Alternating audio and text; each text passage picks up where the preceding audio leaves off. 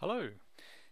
In this video I'll demonstrate how to create a schema in MySQL in preparation for a KonaKart installation.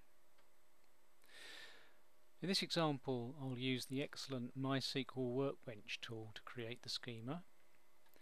First of all I'll open my connection here to my MySQL database and here you see the list of my existing schema. To create a new one I'll click on this icon here. And I'll give the new schema a name. Kona Cart for the collation I shall use uh, UTF-8 collation. And now apply apply finish. And there we are. We have uh, a new schema called KonaKart ready for a KonaKart installation.